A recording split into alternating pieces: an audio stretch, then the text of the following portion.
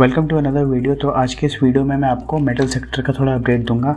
मैंने अभी कुछ दिनों पहले मेटल सेक्टर का एनालिसिस करते हुए एक वीडियो बनाया था और उसमें बताया था कि मेटल सेक्टर काफ़ी अच्छे, एक काफ़ी स्ट्रॉन्ग एक सेक्टर लग रहा है। बट आज के दिन जैसा कि देखा हमने मार्केट को आज इसने थोड़ा नीचे रखने का ट्राई किया है। आज के दिन सबसे ज़्यादा फॉल इसी सेक्टर में आया था अप्रॉक्स पॉइंट टू परसेंट ज़्यादा का यहाँ पर ये कैंडल बनाया है आज के दिन, ये रेड कैंडल और पूरा पूरा बुलिश कैंडल है, इसमें पूरा बियरिश कैंडल है, कोई भी इसमें विक नहीं है। तो बट हम सिर्फ़ ये दो कैंडल को देख के नहीं कह सकते हैं कि इसमें मतलब कोई वीकनेस आ गई या फिर क्या हुआ है।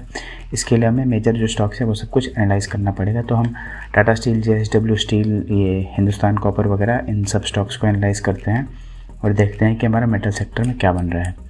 तो स्टार्ट करने के लिए हम चलते हैं मेटल सेक्टर के स्टॉक्स पे। तो सबसे पहले हम देखते हैं हिंदालको में, क्योंकि सबसे बड़ा फॉल आज इसमें ही आया है। ऑलमोस्ट पाँच परसेंट का फॉल आया इसमें, और पूरा बहुत ज़्यादा ये बेरिश कैंडल है गैप डाउन हुआ, और वहाँ से सीधा नीचे ही गया है प्राइस और कल के दिन इसने यहाँ पर ऊपर एक डोजी कैंडल बनाया था, जो कि अनसर्टनिटी का कैंडल होता है एक। और इसके बाद एक ये कैंडल पड़ना ये पूरा काफ़ी एक बेरिश साइन है कैंडल स्टिक्स अगर हम बस देखें तो।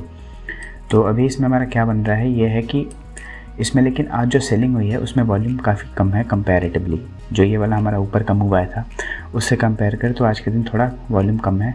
अब इस, अगर इस वाले मूव से देखें तो ये एक अच्छी बात है। तो अभी जब तक ये वाला, अभी ये वाला जो लाइन है ना इसका, मैं आपको ड्रॉ करके दिखाता हूँ। ये वाला है।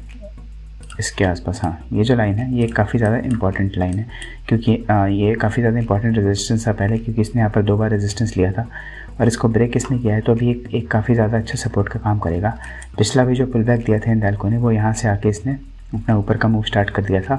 तो अभी वाला जो ये पुल बैक ले रहा है ये ये भी क्योंकि इसने एक ऑलमोस्ट ऑल टाइम हाई को ब्रेक करके एक दिन सस्टेन किया था तो इसको हम एक ब्रेकआउट बोलेंगे बट ये जो ब्रेकआउट का पुल बैक मिल रहा है हमें यहाँ पर अगर ये इस लाइन के पहले पहले, इस सपोर्ट लाइन मतलब अप्रॉक्स 550 इसके आसपास के पहले पहले अगर यहाँ पर होल्ड कर लेता है अपने इसको तो हम मानेंगे कि एक अप ट्रेंड कंटिन्यू होता जा रहा है, क्योंकि यहाँ पर एक हायर हाई बनेगा हायर लो हायर हाई और फिर अगर इसके पहले यहाँ कहीं रुक जाता है तो हायर लो बनेगा और ये अप ट्रेंड कंटिन्यू हो जाएगा।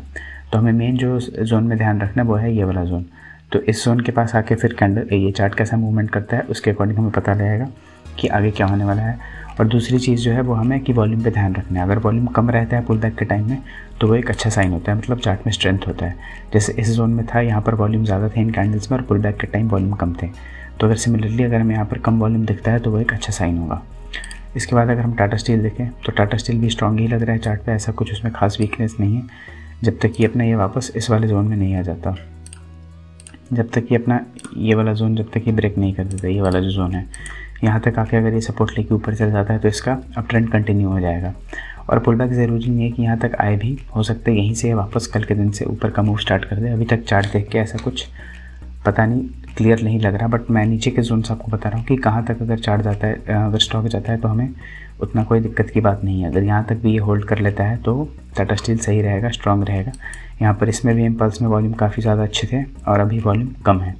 सिर्फ़ एक ही स्टॉक है जिसमें कि आज वॉल्यूम में थोड़ा दिक्कत हमें आई है देखने में मतलब कि वॉल्यूम कंपैरेटिवली ज़्यादा रहा है और वो है जिंदल स्टील का स्टॉक जिंदल स्टील के स्टॉक में देखें तो आज के दिन वॉल्यूम बाकी पिछले सारे दिनों से कंपैरेटिवली आज के दिन वॉल्यूम ज़्यादा थी। और फॉल इसमें आया approx two point eight four percent का। और ये बिल्कुल ऑल टाइम हाई से आया है। तो इसका हमें रिट्रेसमेंट देखना होगा, कहाँ तक आ सकता है। अगर हम सीधा सीधा फिबनाची लगाएँगे इस वाले यहाँ लो से तो इसका फिबनाची के लेवल्स आ रहे हैं थर्टी एट परसेंट यहाँ आ रहा है और सिक्सटी टू परसेंट यहाँ आ रहा है। तो हमें देखना होगा कि इसका कहाँ तक आ सकता है नीचे। और इसने सीधा मूव भी काफ़ी ऊपर दिया है तो एक रिट्रेसमेंट आ जाए तो उसमें कोई दिक्कत की बात नहीं है। इसको हम देखते हैं आगे क्या होता है। बस इसमें यह है कि इस पूरे वॉलिटिलिटी कॉन्ट्रैक्शन के दौरान इसका वॉल्यूम काफ़ी कम था। और यहाँ पर भी इसको जब ऊपर का भी मूव स्टार्ट हुआ तो इसमें कुछ खास वो नहीं था। मतलब वॉल्यूम उसमें उतना ज़्यादा अच्छा नहीं था जिंदल स्टील में, ऊपर के इस इम्पल्स के टाइम पर भी। बट आज के इस सेलिंग वाले कैंडल का दिन वॉल्यूम थोड़ा ज़्यादा है। तो इसमें एक ये थोड़ा वीक पॉइंट लग रहा है इस चार्ट का। बाकी हम देखते हैं आगे ये कैसा बिहेव करता है। बाकी जेएसडब्ल्यू स्टील भी टाटा स्टील जैसा ही है। वॉल्यूम वगैरह इसमें ये वाले अप अप मूव के टाइम देख सकते हैं। वॉल्यूम्स का एक वॉल्यूम का एक कैंडल यहाँ पर काफ़ी अच्छा पड़ा था ये वाला। और आज के दिन कंपैरेटिवली वॉल्यूम का कैंडल कम ही है, छोटा ही है। तो इसमें भी कोई वैसा कुछ इशू नहीं है। बाकी वेदांता वगैरह सब में वही सीन है, सारे एक अप ट्रेंड में ही है। और जब तक ये अपना इसके ऊपर होल्ड कर लेता है, इस वाले हाई के ऊपर, इस वाले लो के ऊपर, तब तक इसको हम अप ट्रेंड में ही मानेंगे। ये जो यहाँ पर से एक ये ट्रेंड लाइन टाइप बना रहा है। अगर यहाँ कहीं होल्ड कर लेता है या फिर मैक्सिमम इस वाले जोन में ही होल्ड कर लेता है वेदांता अपना तो इसको हम स्ट्रॉन्ग मानेंगे। उसके बाद अडानी एंटरप्राइज़ ने तो अपना ऑल टाइम हाई बना दिया, ये तो अलग ही चल रहा है बिल्कुल, सारे स्टॉक नीचे थे बट अडानी एंटरप्राइज़ ने ऑल टाइम हाई बना दिया है आज। तो देखते हैं इसमें कैसा रहता है। वॉल्यूम इसका ठीक ठाक है वॉल्यूम कुछ बहुत एक्सेप्शनल नहीं था आज के दिन। तो हम देखते हैं फॉलो थ्रू डे कल का कैसे रहता है, इसको अच्छा वॉल्यूम मिलता है या फिर नहीं मिलता है। और हिंदुस्तान कॉपर जैसे मैंने पिछले वीडियो में बताया था कि ये उतना स्ट्रॉन्ग नहीं दिख रहा है हमें। ये अभी भी 200 डे के नीचे ही ट्रेड कर रहा है, यहाँ पर इसने रिटेस्ट फेल किया है। काफ़ी बार 200 के ऊपर सस्टेन करने का ट्राई किया इसने। बट अभी भी ये इसके नीचे ही। तो ये वाला इसका ये एक सपोर्ट जोन काफ़ी स्ट्रॉन्ग है। यहाँ पर इसने काफ़ी बार सपोर्ट लिया है। तो देखते हैं कि यहाँ पर ये सपोर्ट लेता है या फिर और आगे क्या करता है। वैसे अगर ये यहाँ से एक ऊपर का मूवमेंट स्टार्ट करता है अच्छे वॉल्यूम के साथ और अपने मूविंग एवरेजेस के ऊपर होल्ड कर पाता है तो हिंदुस्तान कॉपर में भी एक अच्छा वो बन सकता है एंट्री क्योंकि इसका कंसोलिडेशन काफ़ी ज़्यादा अच्छा हुआ है। यहाँ पर इसका वॉलिटिलिटी भी थोड़ी कम हो गई है पहले से कंपेरेटिवली तो अगर यहाँ पर बिल्कुल कॉन्ट्रैक्ट हो जाता है वॉलीडिलिटी कॉन्ट्रैक्शन और बढ़िया होता है और फिर एक अच्छे वॉल्यूम के साथ ब्रेकआउट देता है तो वहाँ पर ये स्टॉक अच्छा बन सकता है। तो आगे के अपडेट्स के लिए आप हमारे साथ जुड़े रहिए और if you like the video so don't forget to subscribe to the channel thank you so much for watching